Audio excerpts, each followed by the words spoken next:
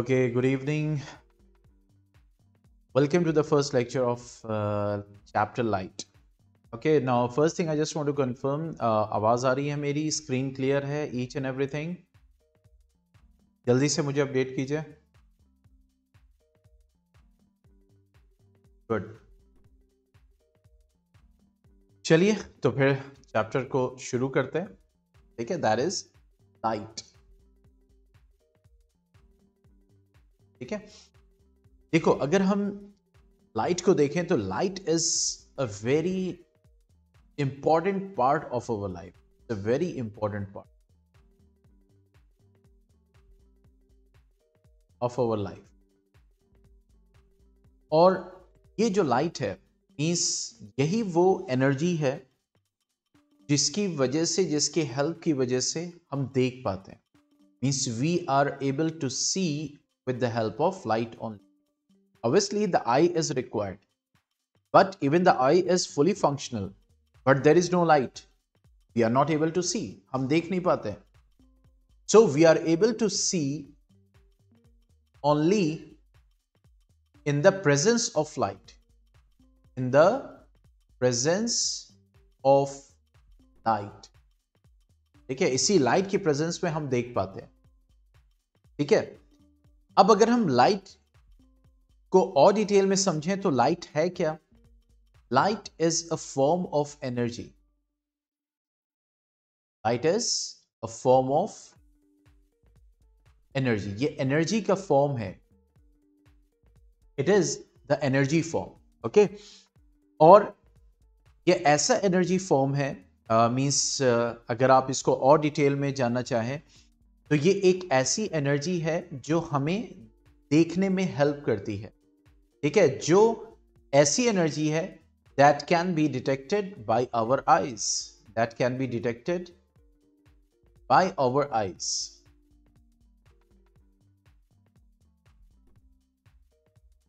ठीक है? अब और इंफॉर्मेशन अगर लाइट की हम देखें तो लाइट का जो है वो डुअल नेचर होता है। लाइट का क्या होता है? डुअल नेचर होता है। यहाँ पे हम विजिबल लाइट की बात कर रहे हैं।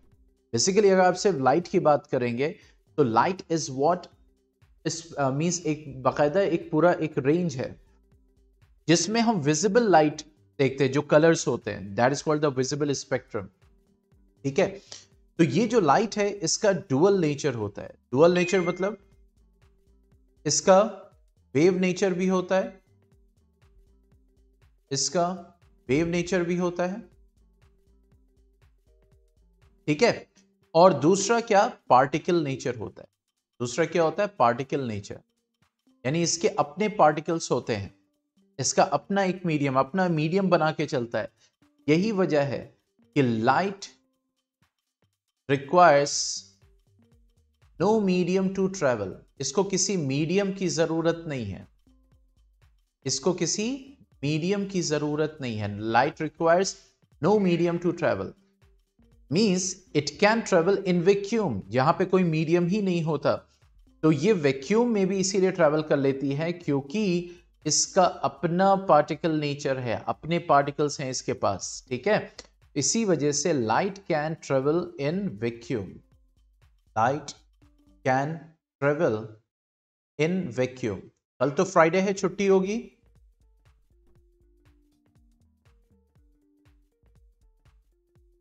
अभी।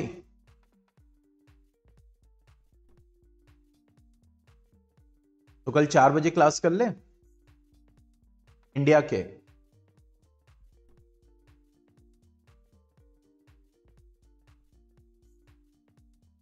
जल्दी फ्री हो जाएँगे? जब एक अपॉर्चुनिटी मिल रही है? जल्दी फ्री हो जाएँगे? मैं भी जल्दी फ्री हो जाऊँगा। तो मैं अपना क्वालिटी टाइम जो है दूसरी जगह स्पेंड कर सकता हूँ। ठीक है? तो कल चार बजे ओके इनशाला तो अब यहाँ पे light can travel in a vacuum क्यों वैक्यूम में ट्रेवल कर पाती है? वैक्यूम में तो कोई मीडियम ही नहीं होता। क्यों? क्योंकि ये ऐसी एनर्जी है जिसके पास अपना पार्टिकल होता है। इसी वजह से ये वैक्यूम में ट्रेवल कर पाती है।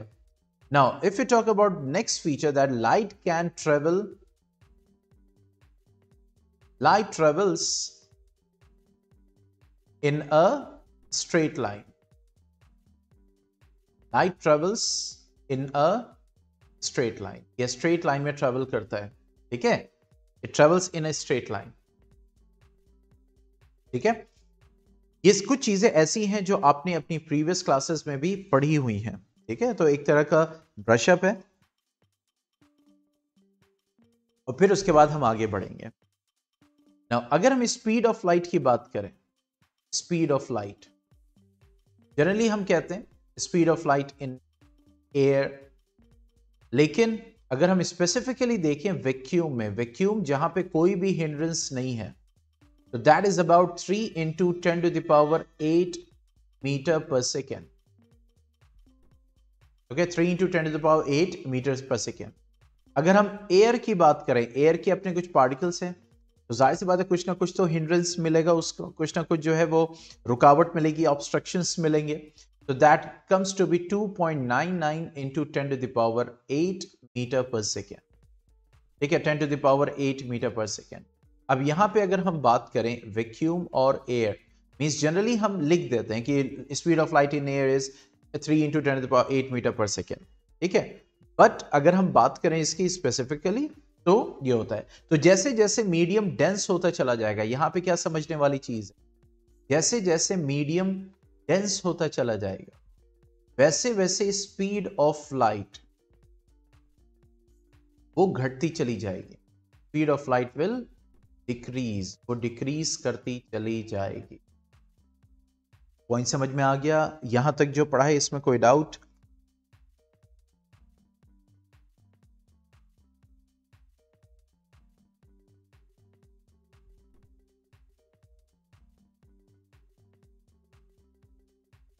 Any doubt till now?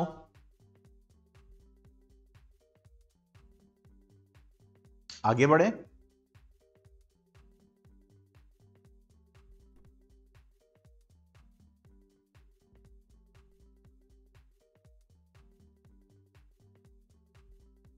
ठीक है? चलो फिर आगे बढ़ते हैं। नाउ अब आते हैं नेक्स्ट टॉपिक पे that is the reflection of light अब देखो कुछ फिनोमिनस हैं। कुछ फिनोमिनस हैं जो कि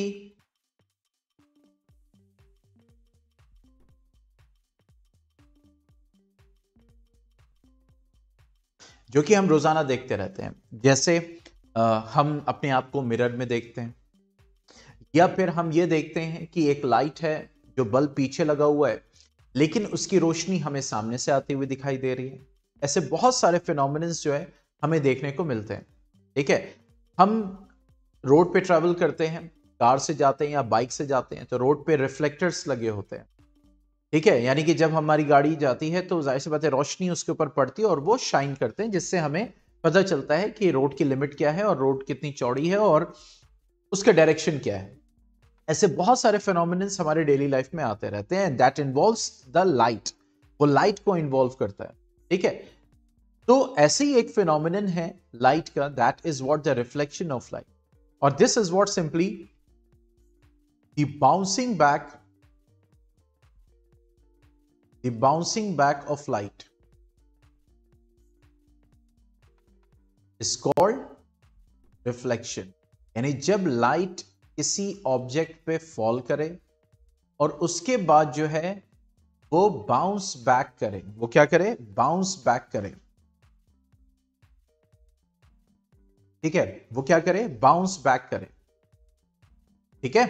तो वो जो मींस फिनोमिन है, उसको हम क्या बोलते हैं? रिफ्लेक्शन कहते हैं। That is called what the reflection तो हम अपने आप को मिरर में क्यों देख पा रहे हैं? क्योंकि जो लाइट लगा हुआ है फॉर एग्ज़ाम्पल बल्ब या रॉड है या सी है। उसकी लाइट जो है वो हमारे ऊपर पड़ रही है। ठीक है? हमारे से रिफ्लेक्ट होके वो मिरर पे जा रही है और मिरर फिर उसको रिफ्लेक्ट कर रहा है हमारे आईज में। तो हम अपने आप को मिरर में देख पा रहे हैं। क्योंकि याद रखो लाइट रेज जहाँ से आती हुई दिखाई देंगी और हमारे आई में वो फॉल करेंगी। ठीक है? तो जहाँ से आती हुई लाइट दिखाई देंगी ऑब्जेक्ट उसके मतलब जो इमेज है, वो वहीं दिखाई देगा। समझ में आ रहा है? मैं आपको यहाँ पे क्यों दिख रहा हूँ?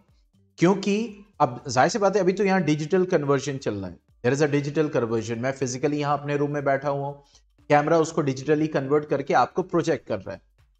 ठीक है? तो आप मुझे अपनी स्क्रीन पे टॉप राइट में ही क्यों देख रहे हो? क्योंकि ऑब्वियसली जो प्रोजेक्शन हुआ है वो टॉप राइट में, जैसे मैं बैठा हूँ, वैसे ही कैमरा प्रोजेक्ट कर रहा है। और फिर ये रेज आपकी आँख में फॉल कर रही है और आप मुझे देख पा रहे हो। समझ में आ रहा है?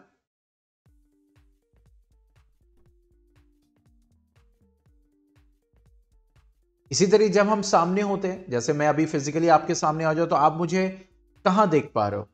जहाँ पे मैं हूँ, वहीं पे। ठीक है? मींस अगर एक ऑब्जेक्ट रियल ऑब्जेक्ट यहाँ पे है और आप मुझे देख पा रहे हो, आप अपने टीचर से मिलते हो, अपने फ्रेंड से मिलते हो तो आप अपने फ्रेंड को देख पाते हो। क्यों? क्योंकि आपके फ्रेंड के ऊपर जो लाइट पड़ रही है, वो जो रिफ्लेक्ट करके आपकी आँख में आ रही है, इसी वजह से आप अपने फ्रेंड को वहाँ देख पा रहे हो। अगर वो रिफ्लेक्टेड लाइट रे कहीं और से आती हुई दिखाई दे, यानी लाइट आपके फ्रेंड पे पड़ी, लेकिन वो डायरेक्टली आपके आँख तक ना आए मीन्स वो जो है किसी और प्लेस से आती हुई दिखाई दे, जैसे कि हम मिरर में करते हैं। तो आपका वो फ्रेंड उस जगह पे दिखाई देगा। पॉइंट समझ में आया? हम मिरर में देखते हैं ना? पता चला फ्रेंड तो वहाँ खड़ा है दूसरी तरफ़, लेकिन हम उसको मिरर में देख पा रहे हैं। क्यों? क्योंकि जो रिफ्लेक्टेड रेज है, वो हमें उस पर्टिकुलर मिरर से मिल रही हैं। तो जिस चीज़ की वो रेज होंगी obviously they are going to sensitise our pigments और means that is very sensitive to pigments and all और फिर वो एक्टिवेट होंगे और फिर उसके बाद इमेज फॉर्म करेंगे। तो जो इमेज जिस ऑब्जेक्ट की है ओके okay, उसकी रेज जहाँ से आती हुई दिखाई देगी वो ऑब्जेक्ट हमें वहाँ पे दिखाई तो ये जो बाउंसिंग बैक फिनोमिनन है कि ऑब्जेक्ट पे पड़ना और फिर वापस आना this is called what the reflection अब अगर हम बात करें जैसे कोई भी व्हाइट ऑब्जेक्ट होता है तो व्हाइट ऑब्जेक्ट अगर है या कोई स्मूथ सरफेस है बेसिकली जैसे हम बोर्ड को ले लें। ठीक है तो अब हो क्या रहा है? जो भी लाइट रेस इसके ऊपर फॉल कर रही है, जो भी लाइट रेस फॉल कर रही है, वो पूरी की पूरी क्या कर जा रही है? बाउंस बैक कर जा रही है। तो सारे के सारे कलर्स क्योंकि इस व्हाइट लाइट में, इस विजिबल लाइट में सेवन कलर्स हैं। तो सेवन के सेवन कलर्स रिफ्लेक्ट कर रहे हैं और एक साथ आपको रिसीव हो रहे हैं। एक साथ आपको रिसीव हो रहा है आपकी आँख में। इस वजह से यह आपको क्या दिखाई देगा? दैट इज़ व्हाइट कोई भी ऑब्जेक्ट आपको ब्लैक या डल या डार्क क्यों दिखाई देता? का रीजन है, मान लीजिए लाइट रेज फॉल कर रही है उस सरफेस पे और रिफ्लेक्शन कम है, यानी और बाकी रेज एब्जॉर्ब हो गई या पूरी की पूरी रेज एब्जॉर्ब हो गई तो वो क्या दिखाई देगा? डिम या फिर डार्क या फिर ब्लैक पॉइंट समझ में आया? तो एक तो ये कंडीशन है डार्क का कि लाइट रेज आ रही है, लेकिन वो ऑब्जेक्ट उसको एब्जॉर्ब कर ले रहा है। दूसरी क्या कंडीशन है? लाइट ही कम है। जैसे आप अपने रूम में कलरफुल ऑब्जेक्ट्स देखते हो, लेकिन जब लाइट एकदम डिम होती है तो वो कलरफुल ऑब्जेक्ट अपने कलर में दिखता है या फिर ब्लैक दिखता है? कभी ऑब्ज़र्व किया है?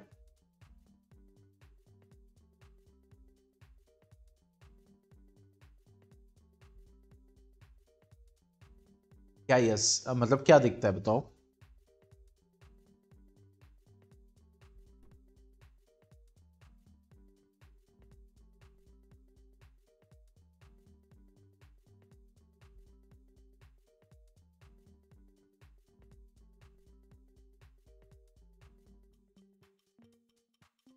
It will pale dark depending on the amount of light और एकदम जब लाइट नहीं होती है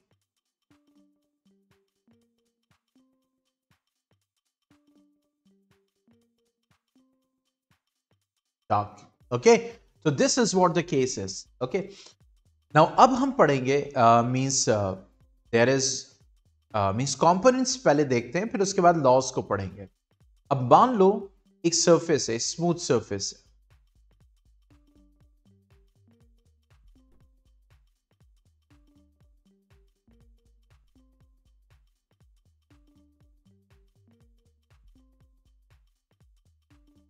this is what the reflecting surface इसको हम मिरर मान लेते मिरर है।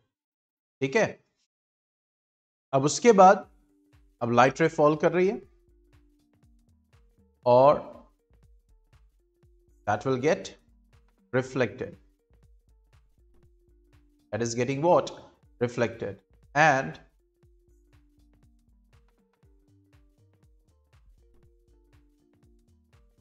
this will now there are the three components means this line which is perpendicular it is an imaginary line it is an imaginary line so this will be what considered as normal इसको normal consider करते हैं means normal is what the line imaginary line perpendicular to the surface जो surface है जिस पे rays fall करेंगी और reflect करेंगी परपेंडिकुलर टू द सर्फेस उसको हम क्या बोलेंगे? दैट इज़ नॉर्मल जो लाइट रे फॉल करती है, उसको हम क्या बोलते हैं? Incident ray ray falling on the surface okay and that will join the normal point ये जो पॉइंट है यहाँ पे, ठीक है? मीन्स जो नॉर्मल जिस पॉइंट से अटैच हो रहा है मिरर में, इस पॉइंट पे means the rays will be there okay उसके बाद जो रेज रिफ्लेक्ट करेंगी, उसको हम बोलेंगे reflected ray that will be called as reflected ray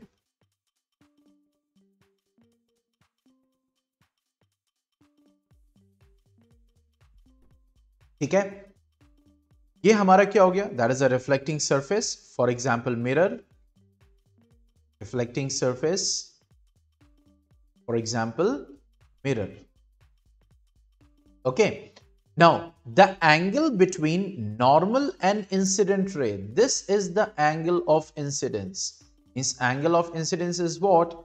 The angle between normal and incident ray.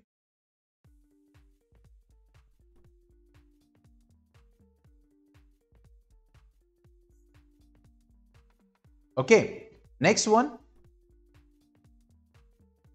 That is R. That is angle R. Okay, this is the angle of reflection. This is what the angle of reflection. This is what the incident angle or angle of incident. This is called the reflected angle or the angle of reflection. This is the angle between normal and the reflected ray. Reflected ray. Okay.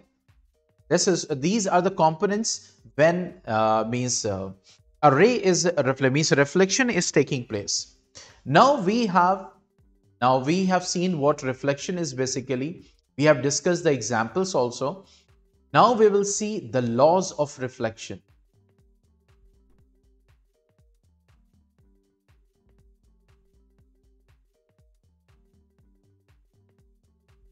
Okay, the laws of reflection.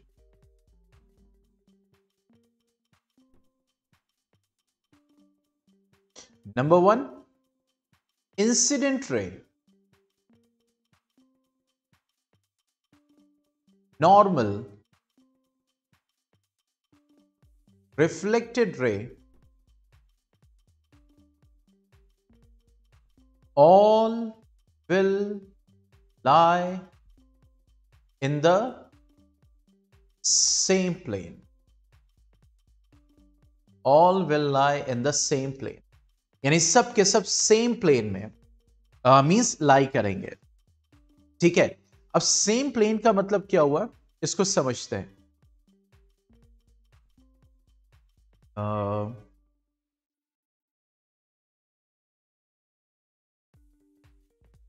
Okay चलो इसको लेते हैं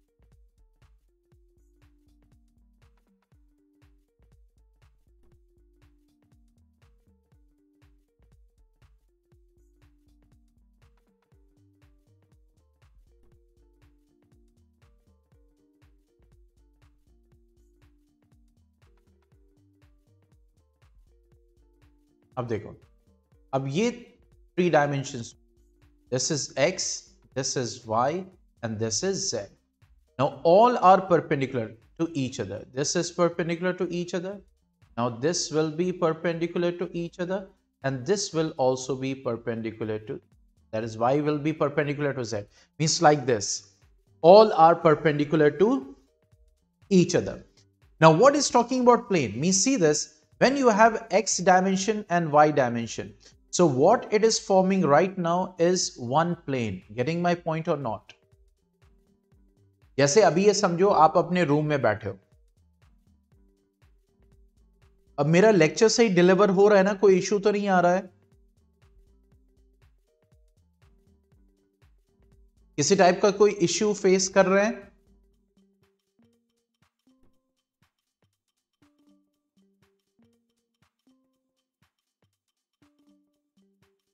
मतलब जो मैं बोल रहा हूँ, जो लिख रहा हूँ, वो सब सही चल रहा है, कोई लैगिंग तो नहीं चल रही है?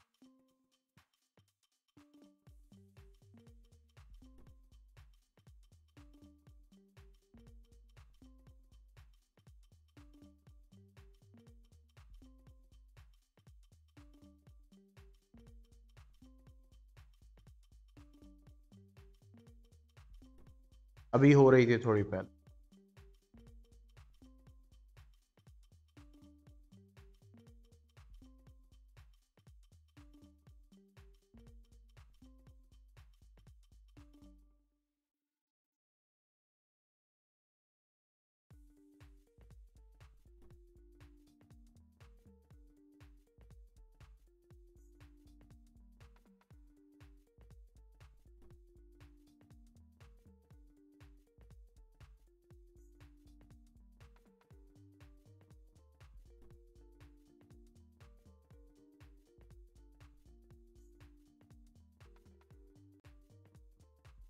क्या इशू आ रहा है नाइन्थ में भी यही आया था लैग हुआ था ज़्यादा।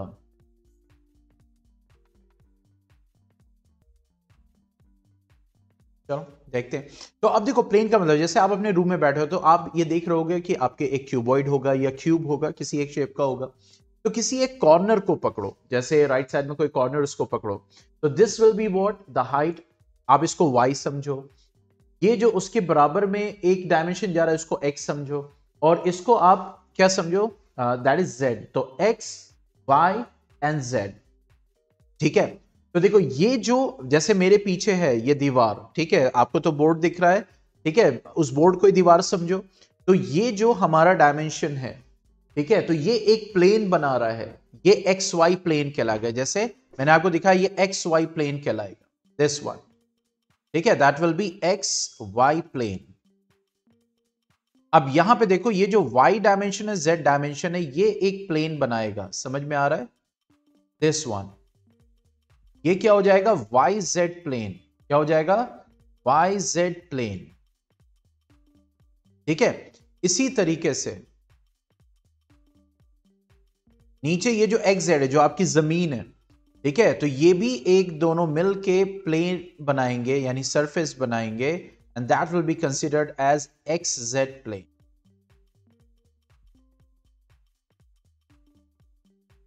That will be considered as xz plane. ठीक है तो अब यहाँ पे अगर हम बात करें तो ये कह रहा है incident ray normal reflected ray all will lie in the same plane मतलब कि ये जो आपका इंसिडेंट रे आएगा, और जो नॉर्मल है, और जो रिफ्लेक्ट करेगा ये सब एक प्लेन में लाई करेगा। जैसे मैं आपको एग्ज़ाम्पल दू विजुअलाइजेशन के लिए, कि मान लो मींस अगर हम एक्स प्लेन को कंसिडर करें तो यहीं पे ये नॉर्मल होगा और इसी प्लेन पे लाइट इंसिडेंट करेगी और इसी प्लेन से रिफ्लेक्ट करेगी। पॉइंट समझ में आया?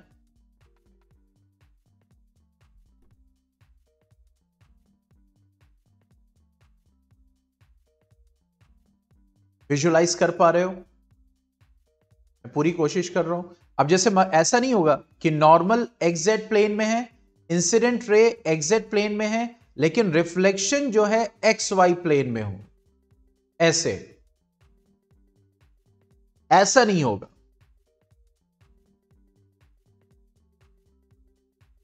ठीक है? ये तीनों जो है, ये तीनों एक ही प्लेन में लाई करेंगे। पॉइंट समझ में आ गया? पहला लॉ सेकेंड लॉ क्या कहता है?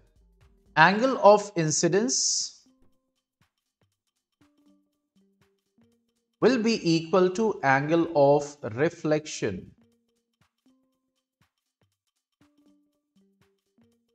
okay angle of incidence will be equal to angle of reflection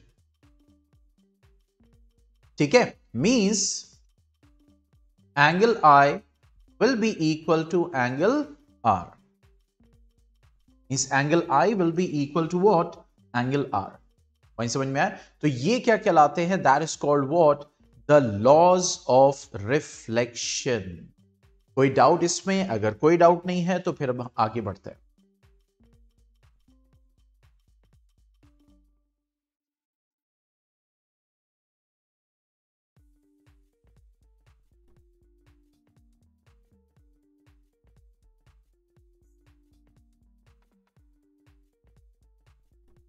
ठीक है? चल, अब हम आगे बढ़ते कमिंग टू मिरर मिरर किसको कहते हैं? ओके तो अब देखो, अगर हम बात करें मिरर की मिरर कई तरह के होते हैं। प्लेन मिरर होता है कॉन्वेक्स मिरर होता है कॉनकेव मिरर होता है। मीन्स स्फेरिकल मिरर जिसको हम जनरली बोलते हैं।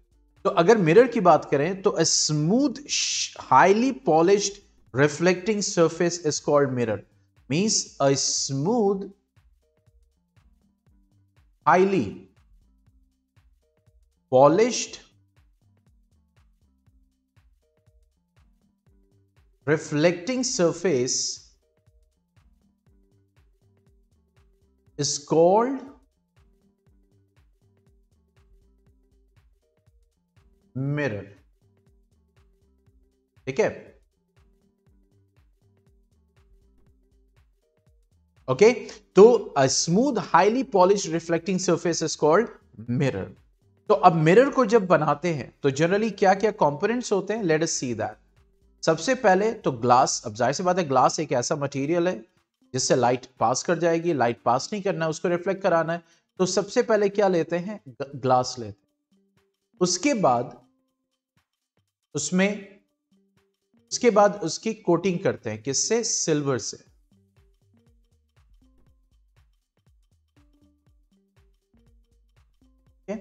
means the coating is done of silver. Coating is done of silver silver की कोटिंग करते हैं।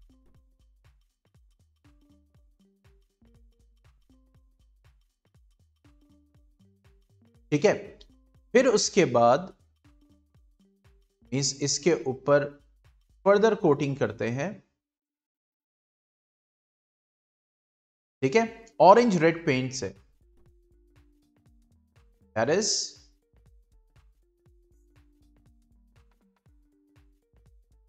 orange red paint. Okay? Why? Just to protect silver layer. Because this is going to reflect. The silver is going to reflect. Okay? To protect silver layer.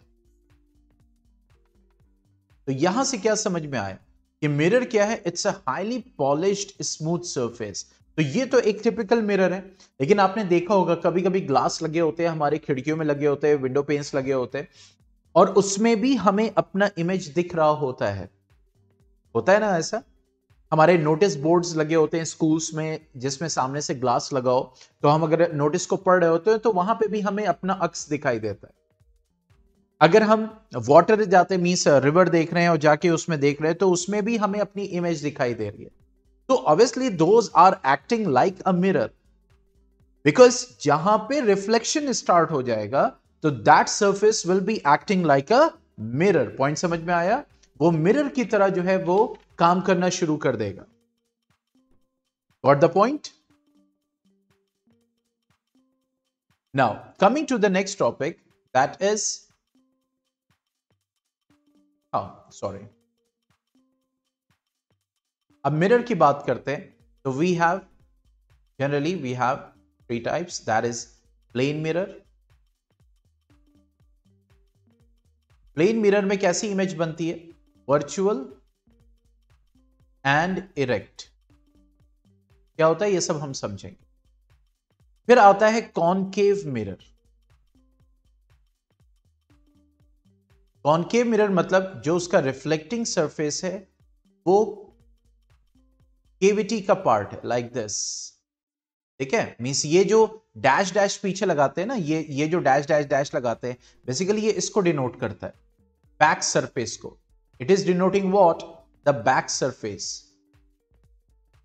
तो इसका मतलब concave mirror में reflecting surface क्या है? ये है.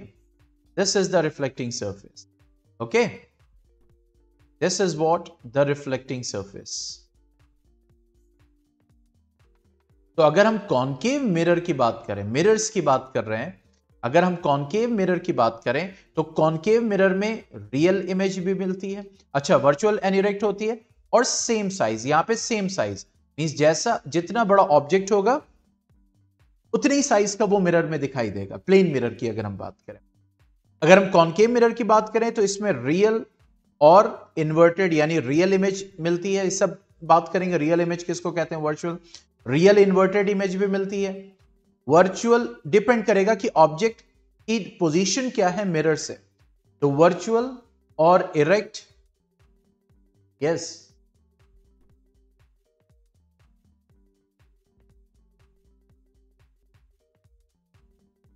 ठीक है? तो ये होता है मींस कॉन्केव मिरर में हमें डिपेंडिंग की ऑब्जेक्ट मिरर से किस पोजीशन पे है, उस पर डिपेंड करेगा और ये आप हायर क्लासेस में इंशाल्लाह पढ़ेंगे भी। तो रियल इन्वर्टेड इमेज भी दिखती है वर्चुअल इरेक्ट इमेज भी दिखती है और सेम साइज़ इमेज भी दिखती है मैग्निफाइड यानी बड़ी इमेज भी दिखती है स्मॉल साइज़ यानी कि छोटी इमेज भी, हर तरह की इमेजेस हमें इसमें मिलती हैं। तीसरा होता है convex mirror convex mirror convex mirror means जो रिफ्लेक्टिंग सरफेस है, वो कॉन्वेक्स है. That is a vex this is the back portion this is what the reflecting surface ये रिफ्लेक्टिंग सरफेस और अगर हम कॉन्वेक्स मिरर की बात करें तो इसमें हमेशा virtual erect property plane mirror वाली हो गई बट स्मॉल यानी हमेशा आपको छोटी इमेज आपने मॉल्स में देखा होगा। देखा है ना, कुछ मिरर्स लगे होते हैं, जिसमें पूरा मॉल दिखाई दे रहा होता है। स्टोर्स में लगे होते हैं मॉल्स में लगे होते हैं to have a means broad vision ताकि दूर तक नज़र चली जाए कि क्या क्या हो रहा है एक्टिविटी को ट्रेस कर सके। तो this is what the convex mirror यानी हमेशा इसमें इमेज छोटी दिखाई देगी और वर्चुअल इरेक्ट ठीक है? मीन्स जैसा ऑब्जेक्ट है, वैसा दिखाई देगा। जैसे प्लेन मिरर में हमें वर्चुअल इमेज दिखती है और उसको हम इरेक्ट कहते हैं। इरेक्ट मतलब जैसा अगर सर ऊपर है तो वहाँ इमेज में भी सर ऊपर दिखाई देगा। इन्वर्टेड का मतलब उल्टा। मीन्स अगर सर ऊपर है तो इमेज में सर नीचे दिखाई देगा। ठीक है? तो ये कुछ डिफरेंसेस हैं। ना अब हम समझते हैं, सबसे पहले रेगुलर रिफ्लेक्शन रेगुलर रिफ्लेक्शन ठीक है? रेगुलर रिफ्लेक्शन और इरेगुलर रिफ्लेक्शन या फिर जिसको हम बोलेंगे डिफ्यूज रिफ्लेक्शन इसको हम बोलेंगे डिफ्यूज रिफ्लेक्शन अब देखो रेगुलर रिफ्लेक्शन किस पे होता है? स्मूथ सरफेस सबसे पहले हम ये समझें।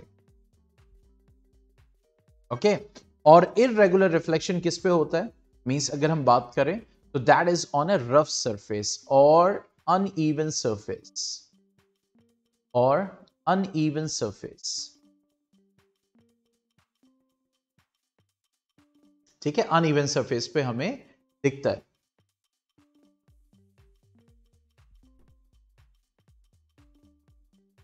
ठीक है, अब रेगुलर रिफ्लेक्शन का मतलब क्या हुआ? इसको समझो। रेगुलर रिफ्लेक्शन तब होगा जब इंसिडेंट रेज जो आ रही हैं, वो तो पैरेलल होंगी। देखो इंसिडेंट रेज दोनों केसेस में पैरेलल क्योंकि इंसिडेंट जब फॉल करेगी तो पैरेलल क्योंकि बीम के फॉर्म में ट्रेवल करते हैं। तो जब इंसिडेंट रेज जो हैं, वो पैरेलल हैं, और रिफ्लेक्टेड रेज भी पैरेलल हों रिफ्लेक्टेड रेज भी क्या हो पैरल हो ठीक है? तो वो क्या कहलाएगा? That will be a regular reflection okay उसको हम क्या बोलेंगे? रेगुलर रिफ्लेक्शन बोलेंगे. ठीक है? और जब इंसिडेंट रेस पैरेलल हो इंसिडेंट रेस लेकिन जो रिफ्लेक्टेड रेज है दोज आर नॉट पैरेलल क्योंकि अनइवन सरफेस है। ऐसे।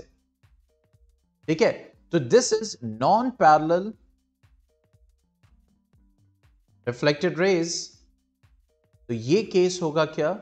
दैट इज़ द इरेगुलर और डिफ्यूज रिफ्लेक्शन जो हमें अनइवन सर्फेसेस या फिर इरेगुलर सर्फेसेस या फिर रफ सर्फेसेस पे हमें मिलता है। समझ में आया? अब आते हैं रियल इमेज और वर्चुअल इमेज तो रियल इमेज की अगर हम बात करें तो जनरली अगर बाय डेफिनेशन हम बोले तो रियल इमेज क्या होती है? An image which can be obtained on a screen, which can be obtained on screen. ये स्क्रीन पे मिले। कुछ भी हो, दीवार हो पेपर हो, पर्दा हो रेटिना हो पॉइंट समझ में आया? तो ये जो इमेज है which can be obtain on screen इस इमेज को हम बोलते हैं रियल इमेज जैसे कि हमारी आई में बनती है। और real image will generally it will be, generally it will be inverted. Real image हमेशा उल्टी यानी अगर ऑब्जेक्ट ऐसा है तो इसकी इमेज ऐसी बनेगी। इमेज कैसी बनेगी? उल्टी this is called what the inverted और अगर इन्वर्टेड है तो generally it is a real image वो एक रियल इमेज है। हमारे रेटिना पे जो आई है, उसके रेटिना पे जो इमेज बनती है, वो उल्टी बनती है रियल इमेज बनती है।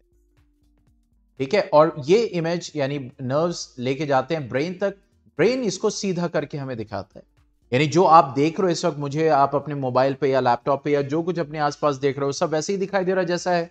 लेकिन अगर इसी चीज़ को आप अपने रेटिना पे देखोगे तो अगर मान लो लैपटॉप आप देख रहे हो सामने या मोबाइल देख रहे हो तो वो आपके रेटिना पे उल्टा बना होगा। ठीक है? मुझ, मेरी इमेज आपके रेटिना पे उल्टी बन रही है इस वक्त। ठीक है? ब्रेन हमें इसको सीधा प्रोसेस करके दिखाता है। पॉइंट समझ में आया? तो रियल इमेज वो होती है जो स्क्रीन पे हमें मिलती है। और वर्चुअल इमेज जो हमें स्क्रीन पे न मिल पाए okay means an image which cannot which cannot be obtained which cannot be obtained on the screen which cannot be obtained on the screen जो स्क्रीन पे ना मिल पाए और जो वर्चुअल इमेज होगी, अगर ऑब्जेक्ट ऐसा है तो वो इमेज भी इरेक्ट इरेक्ट इसी को कहते हैं। This is called what the erect image इसको हम इरेक्ट इमेज कहते हैं। और ये क्या है? That is inverted image this is what the erect image तो वर्चुअल इमेज वो है which can not be obtain on the screen ठीक है? तो मैंने आपको पहले ही बताया कि प्लेन मिरर में कैसी इमेज बनती है? Virtual erect same size concave mirror में हर तरह की वर्चुअल भी इमेज मिलेगी रियल भी इमेज मिलेगी। और कॉन्वेक्स मिरर में आपको क्या मिलेगा? That is the only virtual small and erect ठीक है? यहाँ तक कोई doubt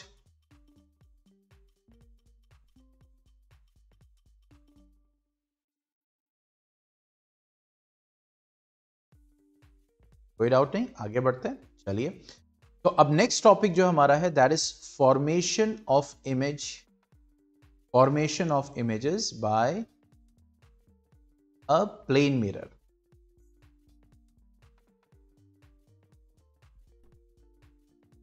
formation of images by a plane mirror.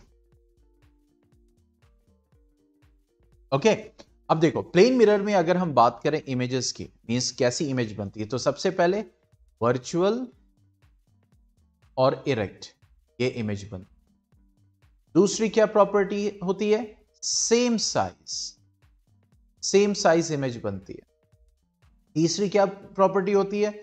The distance of image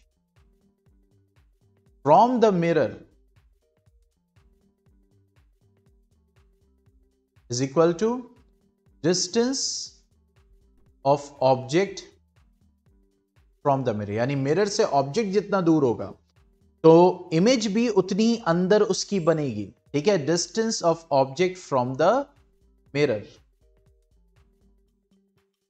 मान लो ये मिरर है।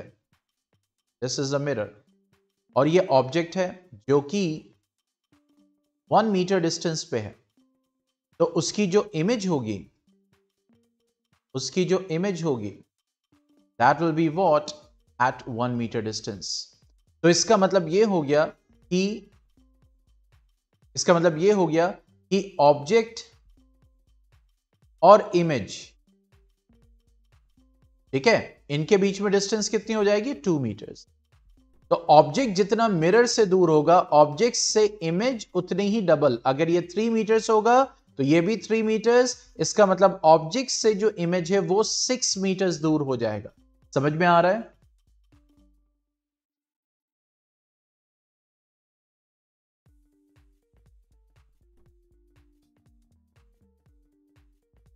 ठीक है? नेक्स्ट वन जो इमेज बनती है प्लेन मिरर में दैट इज़ लैटरली इन्वर्टेड अब अपने आप को प्लेन मिरर में देखते होगे तो अगर आप अपना राइट हार्ट राइट हैंड जो है वो उठाते हो you just lift your right hand what happens image में वो लेफ़्ट हैंड है। इसको हम बोलते हैं लैटरली इन्वर्टेड इमेज या लैटरल इन्वर्जन लैटरल ये नहीं होता टॉप बॉटम नहीं बनता टॉप टॉप रहता है बॉटम बॉटम रहता है। लेकिन अगर आप लेफ़्ट राइट की बात करोगे लैटरल साइड्स की बात करोगे तो अगर आपने राइट उठाया, ठीक है? तो आपकी तरफ़ से देखो, ये मेरा क्या है? लेफ़्ट है। ऐसे ही आप मिरर में देखते हो, कि नहीं? आप राइट उठाते हो तो वो वो इमेज का क्या होता है? लेफ़्ट होता है। आप लेफ़्ट हाथ उठाते हो, वो इमेज का क्या होता है? राइट right होता है।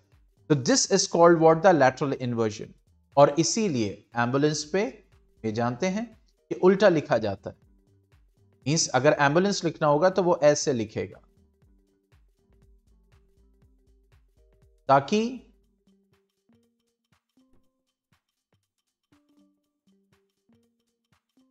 ठीक है?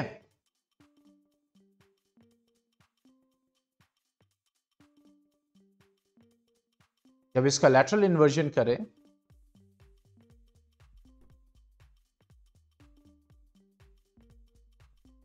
देखो हमने लैटरल इन्वर्जन किया, कहाँ पे गड़बड़ी हो गई? अच्छा ये हमें उल्टा बनाना था दिस वन ए बाकी सब सही है?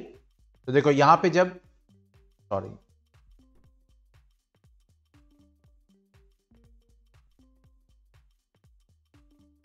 उल्टा लिखते हैं। क्यों? क्योंकि प्लेन मिरर में क्या होगा? लेटरल इन्वर्जन होगा।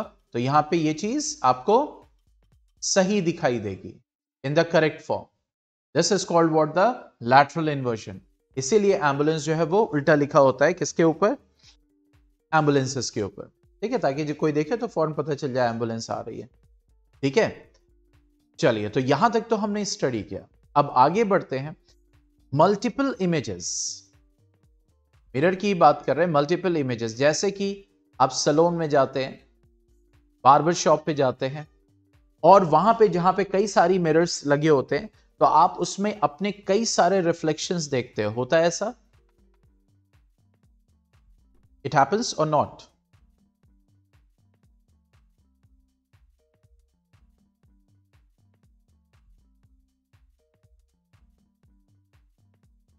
ठीक है? इट डज तो अब यहाँ पे अगर हम को देखें,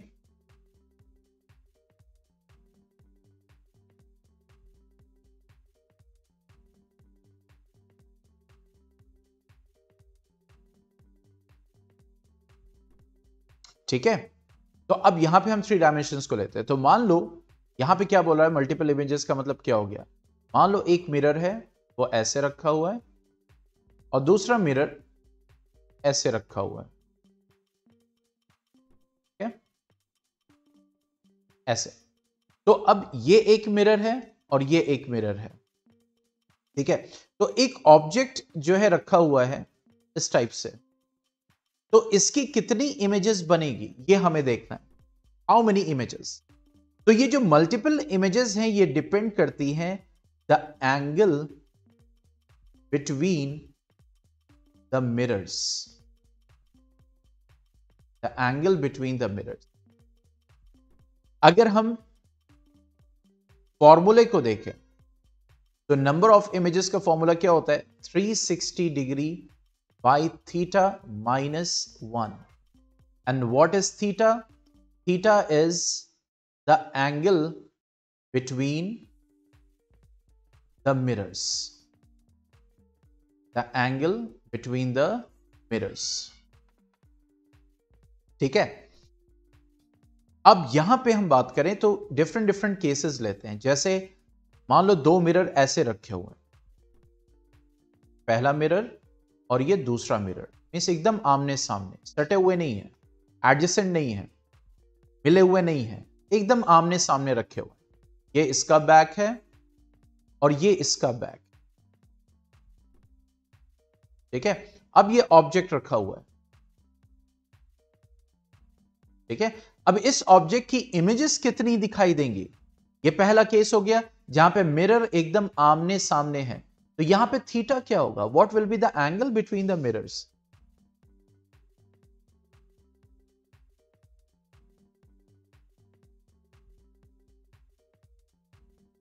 what will be the angle between the mirrors?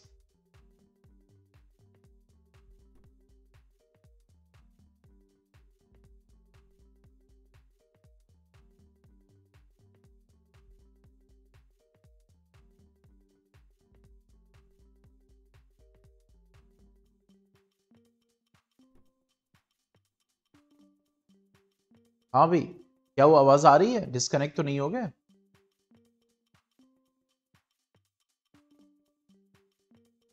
Don't know zero degree कोई एंगल नहीं बन रहा है। मिरर कनेक्टेड ही कहाँ है? तो नंबर ऑफ़ इमेजेस कितनी बनेगी? That will be 360 degree upon zero minus one and anything divided by zero become infinite minus one. One minus infinite will give you infinite तो देखो इनफाइनाइट इमेजेस बनेगी। Infinite images बनेगी। और ये आप देखते हो, जाते हो ना सिलोन में या बार्बर शॉप में, या मीन्स पार्लर्स में तो आगे भी मिरर लगा होता है, पीछे भी मिरर लगा होता है। आप जब देखते हो तो आपकी इमेजेस बनती चली जाती हैं। नोटिस किया है?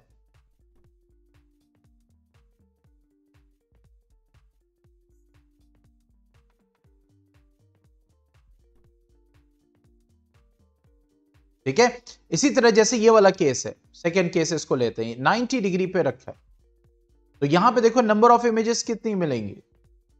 नंबर ऑफ़ इमेजेस तो 360 डिग्री, यानी सेकेंड केस है 90 डिग्री, यानी मिरर्स के बीच में 90 degree minus one that means four minus one that is three कितनी इमेजेस मिलेंगी? थ्री इसी तरीके से थर्ड केस लेते हैं। देखो, अब बहुत ध्यान से समझना। थर्ड केस क्या है? एक मिरर ऐसे रखा है और दूसरा मिरर भी उससे मिला के ऐसे रखा है। दो मिरर्स को इस ए, ऐसे मिला दिया और ऑब्जेक्ट यहाँ पे है। ये बताओ इन दोनों के बीच में एंगल कितना बन रहा है?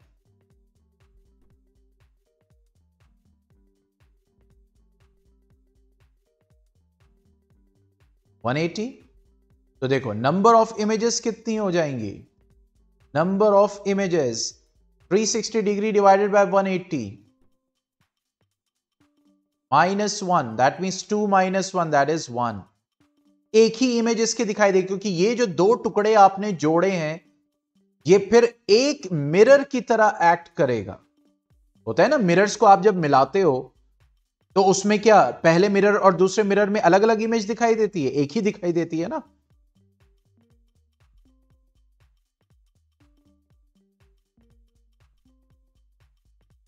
यस और नो ठीक है? तो वही चीज़, जब आपने दो मिरर्स को मिलाया और उसके बीच में 180 तो वो एक मिरर की तरह अब बिहेव करेगा। तो इसी तरीके से depending on the angle between what two mirrors यानी ऑब्वियसली रिफ्लेक्टिंग सरफेस की यहाँ पे बात हो रही है। तो इमेजेस बनेगी। 60 डिग्री हो जाएगा 30 डिग्री हो जाएगा तो उसके हिसाब से इमेजेस क्या होंगी? वेरी करेंगी। फोर्थ केस लेते ये सब स्पेशल केसेस है। ये नहीं कि सिर्फ़ इतना ही एंगल रखना है। अगर आपने 270 डिग्री रखा या आपने जो है 90 डिग्री रखा, या आपने 60 डिग्री रखा तो obviously number of images vary करेंगे।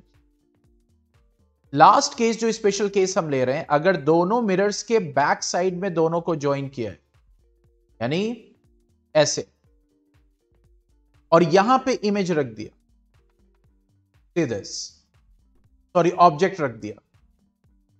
तो अब यहाँ पे अगर देखो तो इन दो मिरर्स के बीच में आपने पूरा घुमा दिया यानी ऐसे, इन दो मिरर्स के बीच में कितना एंगल बन रहा है? 360 डिग्री तो नंबर ऑफ़ इमेजेस क्या हो जाएगा? देखो 360 degree upon 360 degree minus one that is one minus one that is zero यहाँ पे कोई, देखो ऑब्जेक्ट यहाँ पे नहीं रखा है। ना ऑब्जेक्ट यहाँ रखा है, क्योंकि ये तो रिफ्लेक्टिंग सरफेस है। ऑब्जेक्ट उसके सामने रख दोगे तो एक इमेज तो बनी जाएगी। ऑब्जेक्ट वहाँ रखा है दोनों के सामने और इनके बैक पोर्शन एक दूसरे जुड़े हुए हैं। मतलब जस्ट लाइक जैसे यहाँ पे 180 डिग्री बन रहा है तो ये मिरर उठा के अब तुम इससे मिला दो तो बैक से बैक इसका मिल जाएगा। तो ऑब्वियसली एंगल कितना हो जाएगा? 360 डिग्री समझ में आया? ये कंडीशन हो गई। ये ये समझ में आ रहा है? तो अब आपने ऑब्जेक्ट रखा है तो इस इस ऑब्जेक्ट की कोई भी इमेज यहाँ पे नहीं आपको दिखाई देगी। You will have zero image of that particular object point समझ में आ गया?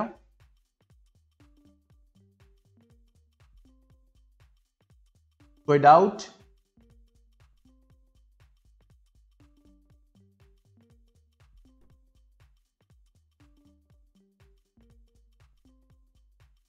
ठीक है? तो चलिए फिर कल मिलते हैं और